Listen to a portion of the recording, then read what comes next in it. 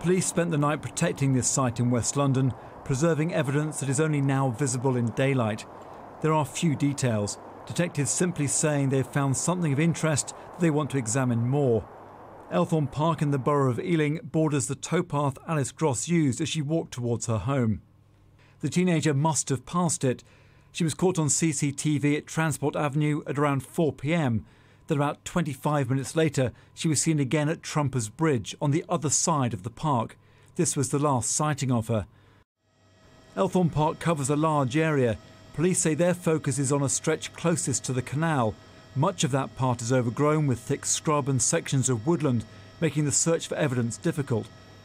This latest development follows yesterday's reconstruction, a police cadet being used to play Alice Gross and replicate her power walking style.